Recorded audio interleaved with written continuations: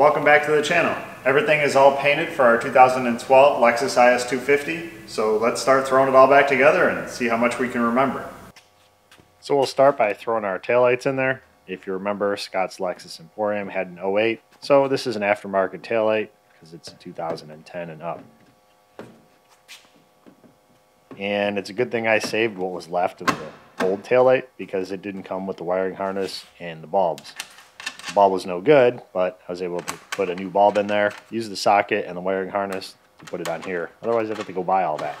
So always save your parts. Don't throw anything away until you're done with the project because you never know what you're going to need. So we'll clip it in there. We'll bolt it in. And we're going to do the same thing on the passenger side. Drop our harness in there. Line up the clip in the quarter with the front edge of our light. We did replace the clip in front of the light on the outside that the taillight slides into. Scott's Lexus Emporium happened to have one. So now we'll head over to the deck lid. We'll put our license plate lights in. These are ones that came with our deck lid, even though somehow the original ones did survive. We'll throw those in a box and take them over to Scott's Lexus Emporium, and maybe I can make a trade with him for future parts on Lexus IS 250s. Now we can snap our finish panel in there, line up the studs, and snap it in.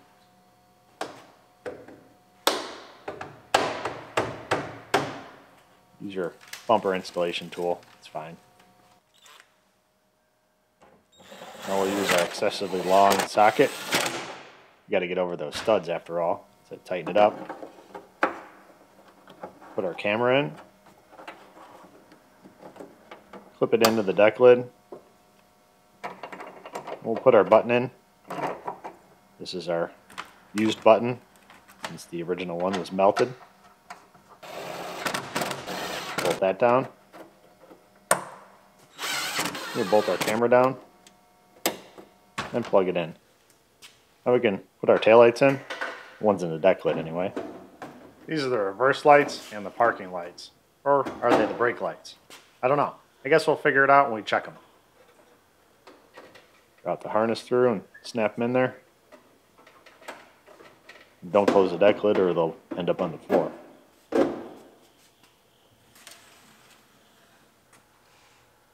we can clip the plugs into the deck lid. And we can bolt them in. And plug them in. Still using that excessively long socket, but it's the only 10 millimeter I haven't lost yet. Now we made our OEM template for our nameplates on the back. I assume this is how Toyota does it. They just don't want you to know. We'll slowly peel it off lines up our bottom edges and our side. There's a couple of little pins that align the zero and I think the two, maybe the S. So as long as we have them spaced out right and got the right height, we should be good. So we'll stick that template to the inside of one of our windows and we'll pull our nameplates off. Got to be careful because we do need these. We were missing a few letters on our used deck lid and it happened to be a 350. We do have to make sure we don't tear up those alignment pins. So when we get to one of the pieces with the alignment pin, just kind of work our way around. Must be the S with the alignment pin in it. It is. So our 2 should come out. No problem. Our 0. Oh, 5. Dyslexic, okay. And our 0 has the alignment pin in there. So we'll work our way around that pin so we don't break it off make our life easier when we try to put it back on. I'll take these over to the retaping gnome. Let him retape those for us. Because you know I don't want to do it. So we need to put our bezel back in our gas door. We had popped out the little plastic retainers so that we could paint it. So we got to push those in first. They're a little hard to get in there with all the paint. So we just use the back edge of a screwdriver to push on it until they snap in. we can put our little bezel in there and screw it in with our screwdriver, torque it down to manufacturer specs. Now back to the deck lid. I'm going to loosen up these two screws because we have a, I don't know, I don't know what this thing does honestly. Some kind of little cover. But it was in there so I'm putting it back. one push pin, then it screws into the lock and the button. Put our covers on our trunk hinges. One side snaps in, and the other side snaps to it. There's one little clip at the bottom.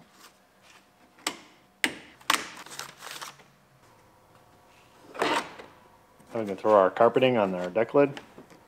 Make sure you make the carpeting face when you put it on. It's required.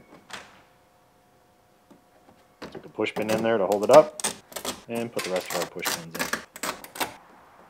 We'll clip in our little escape lever. Let all the haters out that I've collected in my trunk. Make sure it works. Then we can put our handle on. Has two screws inside, so screw those in. And close the cover. You can put that on before the carpeting, but it's just easier to put on after. Our last push pin in there. And now we're going to cavity wax our frame rail, where we had all of our welds.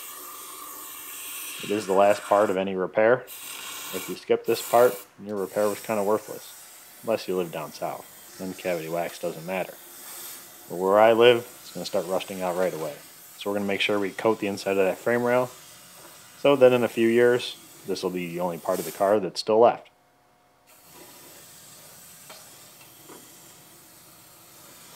Get a good coating in there. And we still had a little bit left in our can, so we'll do the back end again. We'll put our bumper brackets on our quarter. Just clip in and tighten up the bolts. Do the same thing on the driver's side. Get a couple extra off here because we had to paint this side.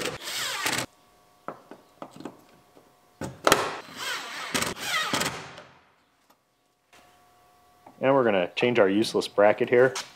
I believe this bracket is supposed to hold the wiring harness for the parking sensors, but this car doesn't have that option. I'm sure some experts will educate me on that one. So it really is useless. I probably could have left it off, but our old one was rusty, so I put in a nice, clean, rust-free one.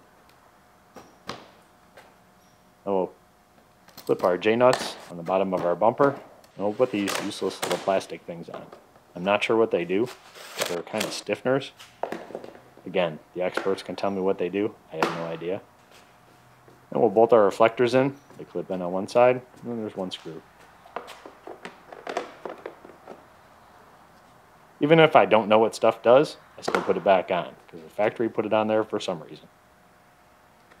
I don't claim to know everything. Now we can put our window trim around the top of our window. Flip it in and line up all the holes. Since the compressors are off, we can't use our assault riveter. We're going to have to use the pump action riveter. Pop all of our rivets in there. We can slide our stationary glass in. Figure out how it goes in there. There we go. We'll slide the window track down there. Turn it. And then push it in. It'll hold our stationary glass in. Screw in the top of it. And put the bolts in the bottom. And we'll put our window channel in flip it into the top of the door, and then back in the track that we just put in.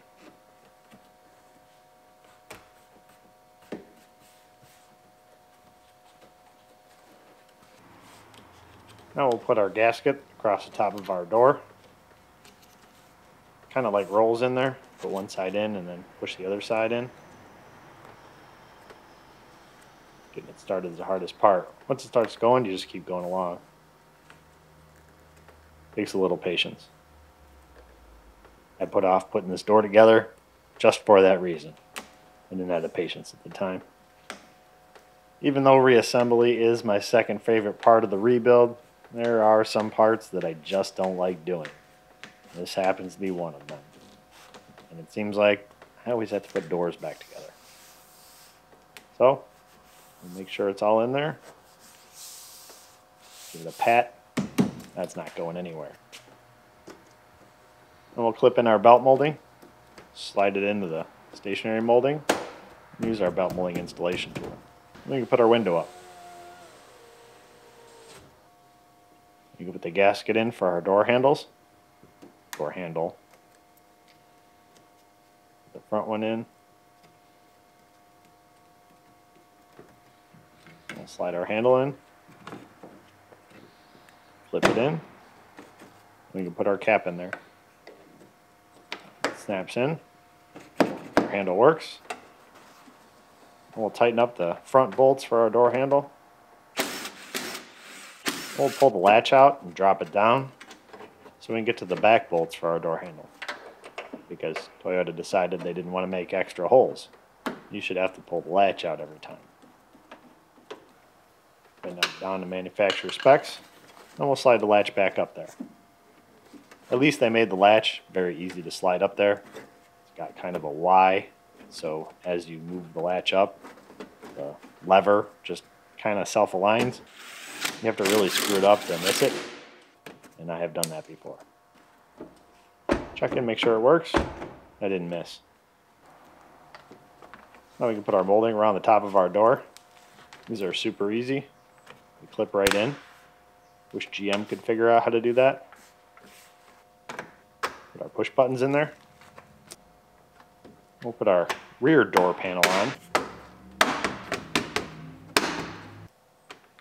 A little bumper in there. Tighten that down to manufacturer specs. Now we're ready to put our door panel on. We'll clip in our cables for our lock and our handle. And we'll clip in our speaker. Now we're ready to slide the door panel on then push it on with our door panel installation tool. One screw behind the door handle and one in the grab handle. We'll put our window switch in, plug it in and snap it down. Now we'll put the little cap behind our door handle. Now we'll drop the sub in our package shelf, plug it in, set it down in there, and bolt it down. If you're wondering why I jump around, uh, it's basically how I pull things out of the box that I throw everything into. So the stuff at the bottom goes on last. Unless there's a reason that needs to go on first. In this case, it doesn't. So we'll route our seatbelts through our insulation on the back. I'll throw our back piece of insulation on there. Tuck it under our sail panels. Put our little push pins in. Now we're ready to bolt our shade assembly in there. I think that's how it goes. Bolt it down. And plug it in. We can throw our package shelf on there. At least the rear portion of it. It clips in underneath the glass. This is a lot easier to do when the glass is out. You can do this when the glass is in, but this is how the factory does it, so how I'm going to do it. Besides, I don't have the glass yet. The yard that I bought the first one from broke it. So I'm waiting for the second one. Cost me an extra 10 bucks. Flip in our third brake light. We'll flip that into our package shelf. Make sure everything's in there.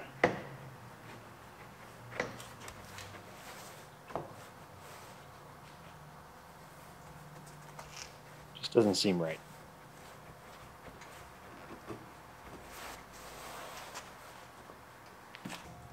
Now we can put the front of our package shelf in.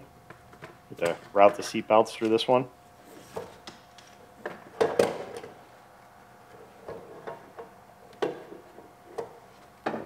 Set it up there. It's a two-piece one because of that shade that goes up. If you don't have that shade, it's just a one-piece assembly.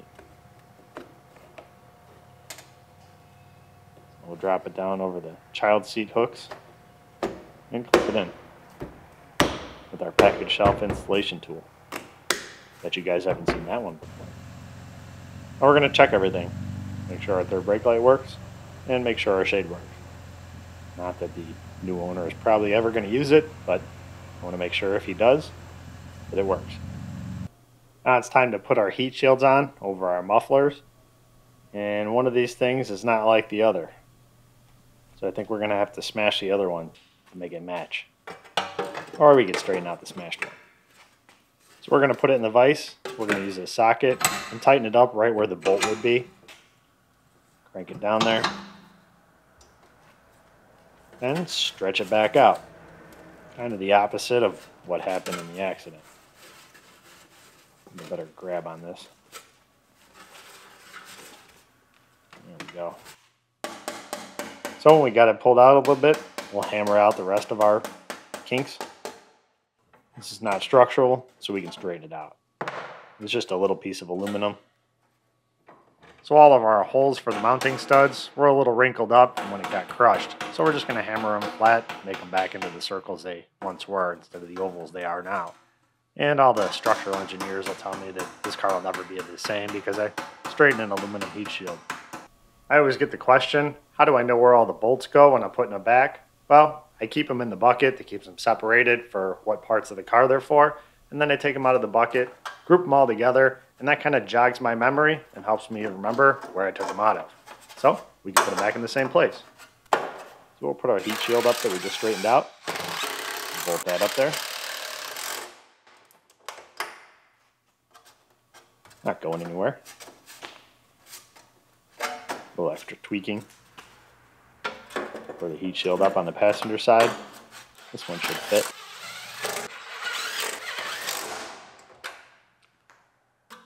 Then we can pull all of our plugs off of our overly complicated evap system that Toyota uses. We looped one line around to the other and put a cap on the one that was open. We just don't want all those vapors to be exposed or welding and grinding. So we closed everything off. Then we can put everything back together.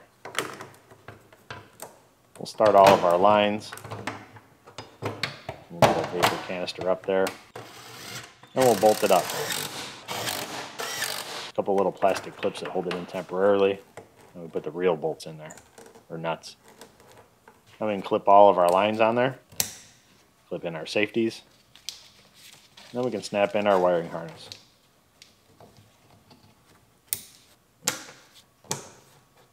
and double check everything. I don't want to be chasing codes. Now we can throw our splash shield up and cover up all this nonsense and never speak of it again. Even though it is overly complicated, it's very rare that you have to go in there and fix anything, unlike the simple GM systems that you have to fix constantly. So we'll tighten up our little plastic nuts pull this cover up there. We don't want to go too crazy with the impact on those. Now we can bolt up our exhaust hanger bracket. We can go a little more crazy with the impact on these. These are some pretty hefty bolts for this little bracket. And there's three of them. Now we're ready to throw our exhaust up there. Uh, it's awkward, heavy, and I don't have a shadow gnome. So we're going to struggle a little bit. First we got to get the little bar there through the rubber baby buggy bumper And my experience in the circus is starting to pay off here. We got it. We can head over to the other side because we've got a free hand. Clip in this rubber baby buggy bumper. Flip in the one on the outside. Then we'll head up to the front and clip those in. And then we should be out of harm's way. The likelihood of this landing on our head is diminished to almost zero, but never zero. One last hanger in the back. And now I put a little Never-Seez on our bolts to be nice to the next guy. And we'll thread them in by hand. And marvel at the fact that I can do that without having to chase the threads or anything else because, well, it's a Texas car.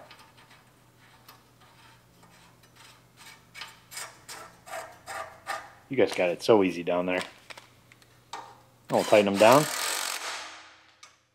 Because somebody in Illinois is going to be taking these apart sometime in the future to replace the rotted out exhaust. I found some more push pins for the back of our EVAP splash shield, so we'll snap those in there. Now we can pull what's left of our bumper bracket off the bottom of our quarter panel. Then we can screw in our used bumper bracket that came with our bumper. That's one reason I do like to go to the junkyards and pull the parts myself because if I would have bought this from a junkyard that took it off for me, I probably wouldn't have got this bracket and that bracket saves me about 30 bucks. Now 30 bucks doesn't sound like much, but well, two brackets, $60. That's roughly one quarter of the bumper price. So we'll bolt in our other bumper bracket and we'll put our absorber on. First we're going to do a little cleaning. We don't want the clean freaks to be too mad. Ah, that's enough. Now we'll put our absorber on. Just snaps in there. And we're ready to put our bumper cover up. Line it up with our brackets. It clips in across the bottom of the body panel and to those brackets that we bolted into our quarter. Use our bumper installation tool. Then we put our screws up in the front.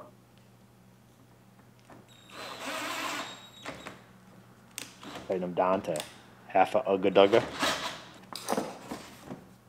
Drop our wheel liner down there. Put the clips in our wheel liner and one screw in the bottom. Our bumper's in on this side. Oh, one more clip for our wheel liner. Oh, a couple of clips in the bottom of the bumper. They also hold in our splash shield for our evap canister. And we'll put our brake line back in. We had it out of the way so that we could grind out a couple spot welds and so the painting gnome could get in there. We'll hammer that clip in with an actual hammer for a change. Bend that line back to where it's supposed to be. Kind of got a little tweaked. I'm pretty sure I tightened this line up, but we're going to check anyway with our torque wrench. Click. And now we can throw our wheel liner in. It's got a bunch of studs, so it kind of lines itself up. A lot easier to put in that way. And we'll put all our nuts on there, hold it in. Quite a few. I didn't want it going anywhere. And a couple plastic clips. Now we're off to the front end. We're going to put our bumper together. Snap our grill in here. Clip it all in. A couple push pins in each side. We can put our little gasket in. Left the rest of the gasket on the top of our grill. Now we can put our bezels in for our fog lights. Snap those in there. One of these is brand new. I think it's this one. It is. Because it's clean. And we know I don't clean parts. So we'll snap the dirty used one in the other side. Probably going to throw the alignment off and everything now. And now we can change our fog lights over since we had that one broken one. One screw. Yep, just one. Yeah, that's no good. So we have our new one. Straight from China.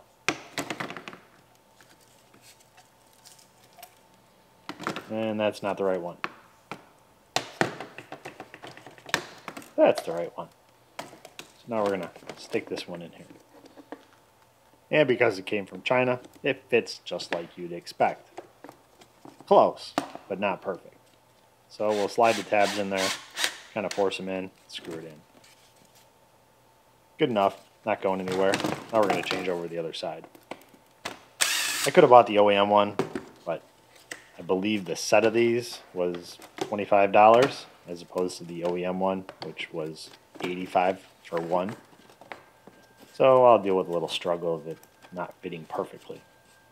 Because when it's all put together, you'll never notice. Tighten that screw down, and our fog lights are ready to go back in there. So we'll clip them in and bolt them down. Same thing on the other side. Now we can snap the lower grill and the bumper. Just line up all the tabs and clip it in. Those holes on the outside edges, those actually line up with the ducts that go down to the brake calipers because apparently Lexus feels this is a performance car and you need to cool the brake calipers.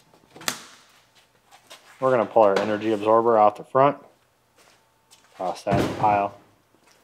We got a brand spanking new one right from Lexus. This was actually cheaper than the aftermarket ones.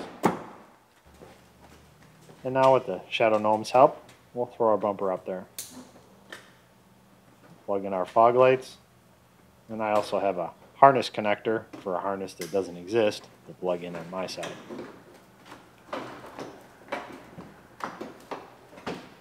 Flip it into all the brackets underneath the headlight and then the fenders.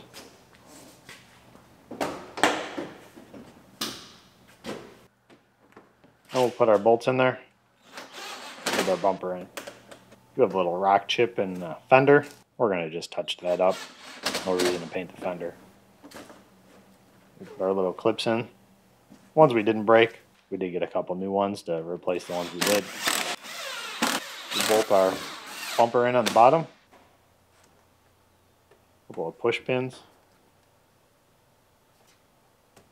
Snap those in there.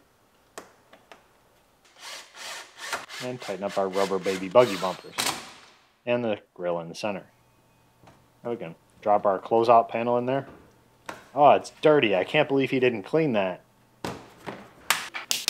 Put in 600 new push pins because all the other ones were broken. And then we're back to the inside of the car. We're up in the sail panels, the C-pillar. Slide into the package shelf, then use our belt molding installation tool to clip it into the quarter. Do the same thing on the driver's side. Slide it in. Line it up and smash it on there. Then pull the gasket out. Then we can put the lower trim on. Clips onto that upper trim that we just put in. And then there's a couple clips that go underneath the door gasket on the pinch weld that it slides into. So I'll smash into those.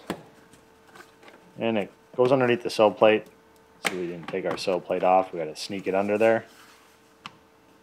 Make sure it's in all those little clips in our pinch weld.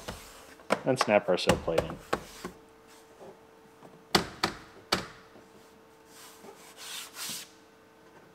And pull our gasket out of there.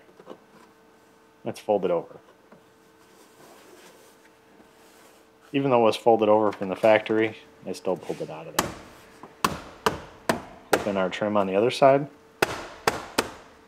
And put our sill plate in. This side I had off of there. Give the painting gnome a little room to work. We can set our seat back in there. Put the seat belt over the top of it.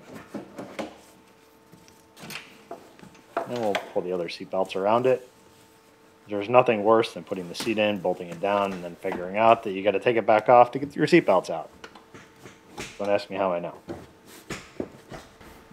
Drop our seat back in there. There's a couple slots that it slides into in the package shelf. And we'll bolt in the bottom. We'll bolt in our seatbelt.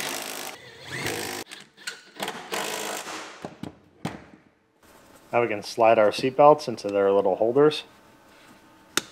We managed not to let those things get clipped back in. So we'll slide them in there and then clip them down. Make sure they work. Go over the other side. Slide it in there and clip them in. And now we can throw our rocker moldings on. Oh look, Mr. Spotty showed up for work. The build must be over. Somebody's looking for a paycheck. So we'll just line up the little push-in clips, snap it up there. Put our one screw in the back. Well, I guess it's more of a bolt since it has a 10 millimeter head on it. And there's one actual screw in the back door, and then one in the front door. We'll tighten those up. And we'll put our bolt up in the front. Click. Now we can put all our little push pins across the bottom end.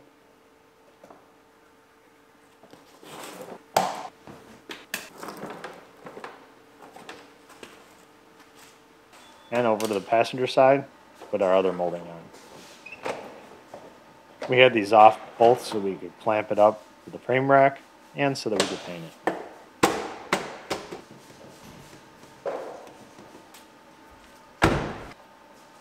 And where the clamps go in the frame rack, we do paint those spots so we don't have bare metal from where the clamps disturb the paint. And after it's done being painted, I also throw some cavity wax over the top of it so it's double rust proofed. Better than the factory. We'll snap all of our little push pins in across the bottom. Gives me a chance to lay down on the job and pretend like I'm doing something. I choose to do this on the floor instead of the lift because the lift is kind of in the way. Makes it hard to get to all these. So it just seems easier to do it on the ground where there's no obstructions. I think I got them all. Now we'll throw our back seat in. The detailing gnome was cleaning it while I put the rockers on. So now it's all clean. We'll route our seat belts through it. Just the buckles.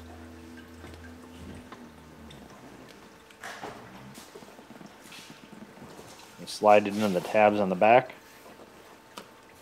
Make sure our buckles are all the way out. Then we'll clip it in in the front. You can use your bumper installation tool for that.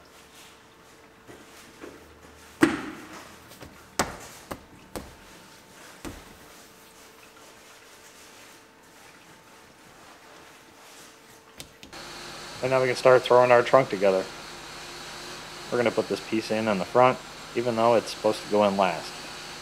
I don't know why I decided to do it backwards, but that's the way I decided to do it, so that's the way we're doing it. You can do it any way you want.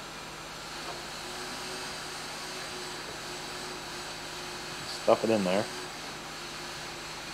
It's a pain to get in there. The pieces on the side, I can't imagine it being easier. Let's plug our light in. There's a couple clips on the top that hold it in place. There's a couple little clips that also hold it in place. We can throw our side pieces on that we were supposed to put on first. Just tuck them in there. And we'll have to go up to the front and we'll have to tuck them behind the other piece that we already put in. Not a big deal. Pull it out, slide it over the top. Little push pins in the back. Now we'll put our liner on the other side. This one came from Scott's Lexus Emporium since our original one was a little crunched and had some holes in it. We'll have to tuck it in in the back. This is where it's nice having a parts car. Having to buy that piece, junkyards usually won't sell it to you. So if you have to buy a new one, I can't imagine how much they are. Usually like 100 bucks or so. Put our little cargo net hook in there and our push pin. We'll tuck it in behind our gasket. We'll put the little sill plate on.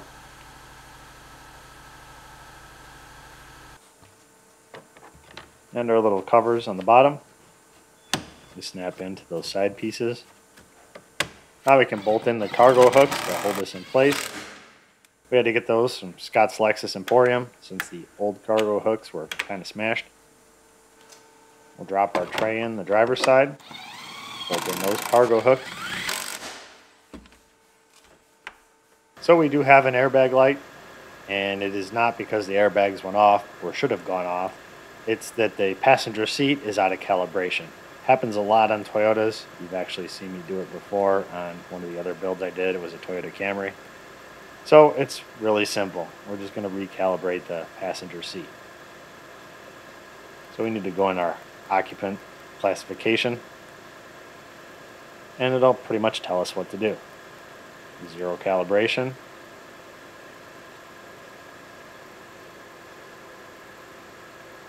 You done reading? You must be, because I am. So it tells us what we're going to do. So we're going to do that. As instructed, we're going to put the seat all the way down, front and back.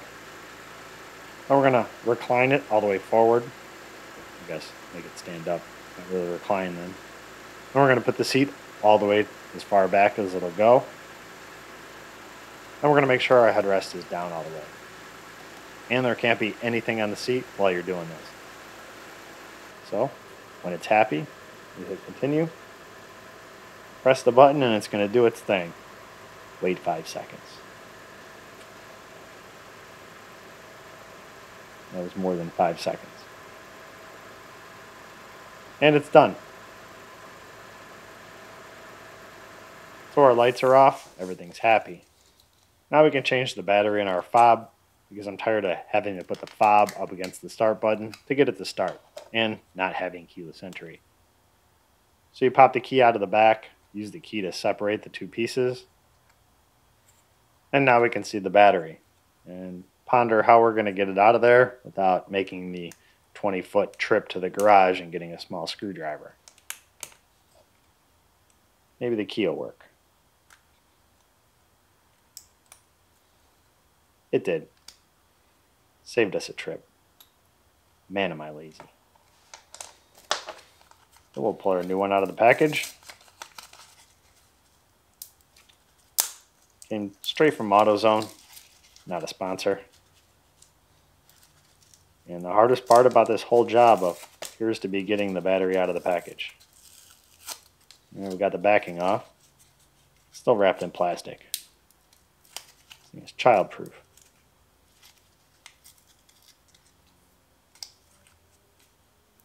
You really don't want to get into this thing.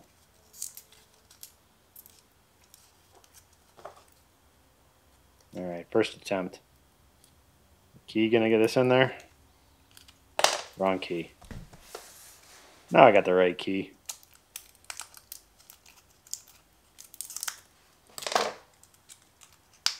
There we go. I win. Pop our battery in there.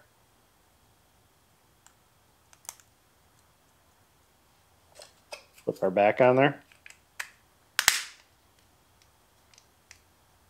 And now our fob works. So we once again have keyless entry. We got a light. And now it's time to change our oil, Toyota style. Unnecessarily complicated. So we pull the cover down. We're going to take a bungee cord. We're going to strap it up to the front to keep it out of our way. We're going to loosen up the drain plug on the oil filter. And yes, I am wearing gloves. I have another job later on for hand modeling, so got to keep my hands in good condition. So after our drain has drained all the oil out of our oil filter, we can put our special oil filter socket on there and loosen it up because just having a regular spin-on filter was too easy, right Toyota? Engineers can't manage to put drain plugs in trans pans where they'd be useful, but Toyota is over here putting them in oil filters. So we spin our cover out of there, slide our cartridge filter out of there, and we'll slide our new gasket on. Probably should have put the gasket on before the filter, but I only have two hands and I'm trying to show you what I'm doing. So slide our little O-ring over it. And we'll use the oil on our gloves to lube it up. And stick it back in there. Our socket never fell off the cover, so we're just going to leave it on there. Since we're going to need it again. Tighten it down to manufacturer specs. Click. Our socket off. We'll pull our gasket off for our drain plug. Slide our new gasket up there. It comes with the filter.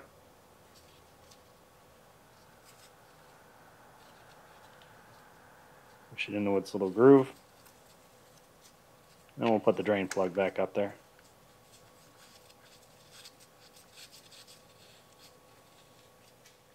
Tighten that up.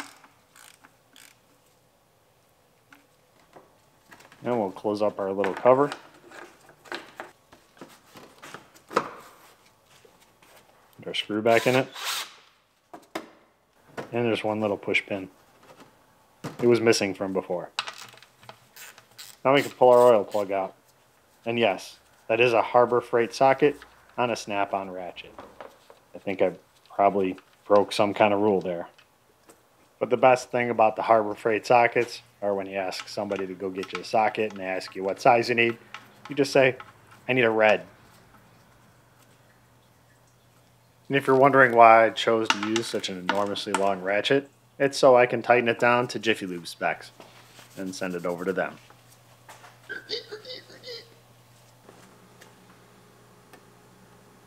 Now we're going to fill it up with oil. And I have to show this, otherwise the internet will accuse me of not putting oil back in it. It's a thirsty little car, so it's going to take more than the six quarts.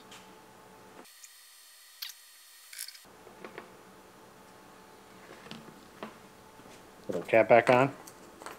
Tighten that down to manufacturer specs. Click. And we'll check our oil. They have covers all over the place, but at least It's a happy car. changing oil is very simple. On the top, and complicated the bottom. So our IS250 is all finished, ready to go. I put a, about 100 miles on it, making sure everything was okay. It's actually a pretty nice car. And I did have a lot of people that wanted to buy it. Unfortunately, it's already sold. I contacted the first person that wanted it, and they had the money, so it became their car. If they hadn't had the money, it would have gone to the next person that contacted me. So, whenever you see a car, doesn't hurt to send me an email if you happen to want it. Get yourself in line because I go first come, first serve. First person doesn't always have the money, which gives the second person a shot. Now we did clean under the hood, so everyone was freaking out that I put the dirty panels on. You can relax. We even cleaned inside the trunk. Look at that. And we cleaned inside the car. There was a little bit of Bondo dust in there. Our detailing gnome did such a good job that the new buyer came to pick it up and was actually afraid to get in the car because he didn't want to get it dirty.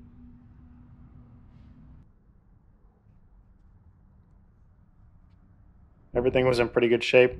There was a little wear on the driver's seat, but what do you expect from a 10 year old car? Well, it looks like this build is done, but there's only one way to be absolutely sure. It's time to play everyone's favorite game. You guessed it. What's in my console? Bolts. Now, I didn't have any extras. Those are from the parts car. I lost all the ones that go to this car. Oh. We got that inspection sticker for Texas that everybody said wasn't on the windshield, so this wasn't a Texas car. Guess what? It was. The windshield was replaced. They took the sticker off. That's why it wasn't cracked. What else is in here? Ah, the Haters Tears bottle. And it's full. Toyota fans are so much fun to pick on. We'll hang on to that. What else is in here? Hmm. So much easier when it's just a GMC emblem. Well, that looks like it. So thanks for watching, and I'll see you next time.